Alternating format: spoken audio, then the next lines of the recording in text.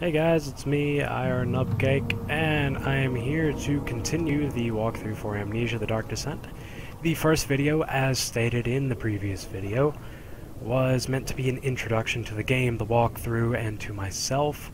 So this is going to move a lot quicker. I'm going to show you how to get through each area. I will try to, along the way, show you where the tinder boxes and oil, laudanum, and that stuff are no promises that I will be able to get them all, but I'll show you most of them. And without further ado, let's clear the archives. I'm going to start off, go in this room right over here. There's a little letter from Daniel. I, Like I said, I highly suggest listening to all of the audio diaries. So, don't skip them like I did. I'm just trying to save time in the video. I could swear there was a tinderbox or something in this room, but it looks like I was wrong. Well, we don't need to go over there yet. We'll come in here. There's another note, not an audio diary, but it's a note. Got a tinderbox in there. There's nothing in the other drawers. Got on my lantern. Keep the vision nice and steady. I could go straight that way. I don't really need to right now. I'm gonna go in here.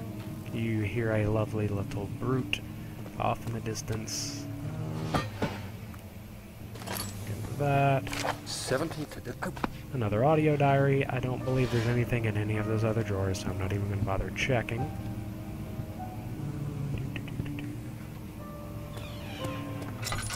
This, if you pick it up, explodes. So be prepared for that. Uh, doo -doo -doo. Yay! This book fell. It Must be a demon. Tinderbox.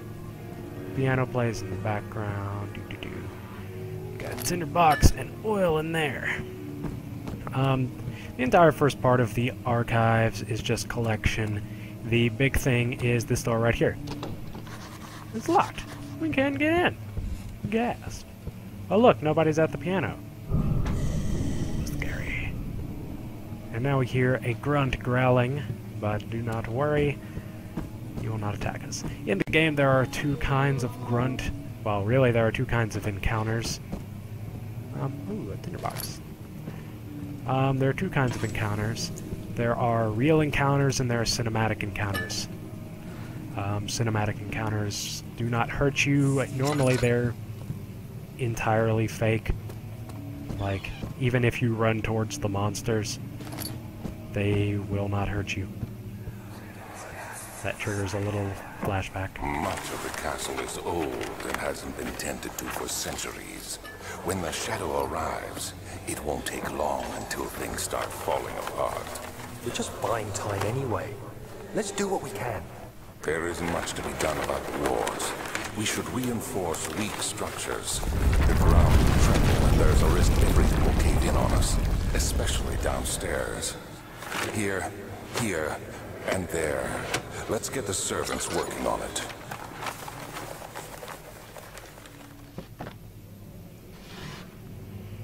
By the way, it's kind of obvious, but I've decided that I'm just not going to talk during the flashback, so you don't have to hear me talking while other people are talking.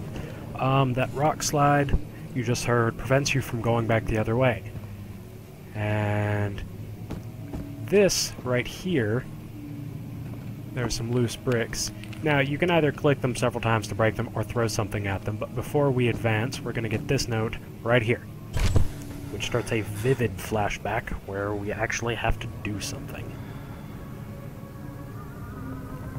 17th May, 1839. After pounding the unforgiving stone wall for what seemed like an eternity, I realized it was hopeless. I was trapped. I fell to the ground, gasping for air, trying to focus. That's when I saw a faint blue shimmer. My weakened body was heavy to carry, but I managed to push myself toward the enchanting light. It was waiting for me. Enclosed in dark nothingness, I felt myself drawn to the mystic light. I reached out, closing it in my hands. The faint glow your escaped my fingers and began to spark brightly and spirit me away. And then it unlocking you. alien memories of spiraling towers, endless deserts, and impossible geometry.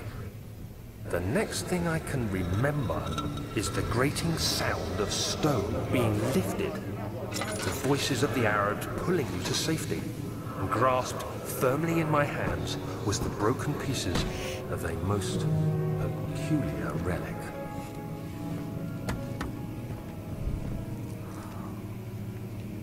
Well, like I said, we're gonna break this with a rock instead of clicking it a thousand times. Here we are. Another flashback. You have to be swift when you activate the first one. You hear that?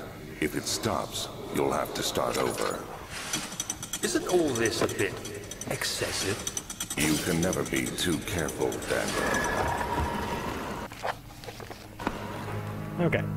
Now, we are on the other side of the locked door. You pick up that oil right there, and as you hear, there's some sort of mechanism that unlocks something. It's these books. There are three that stick out, right there, right there, and right here. When you pull them all, moves this bookshelf, unlocking a secret room with a little cupboard, nothing in it. Um, desk. Got that. Oops. There's a little note. Not an audio diary, not as important. Now, this is one of the triggers where you pick up an item and something happens. When I pick up this key, we're going to hear a monster growl, and the locked door is going to be thrown open by a, a monster, though the monster will not attack us.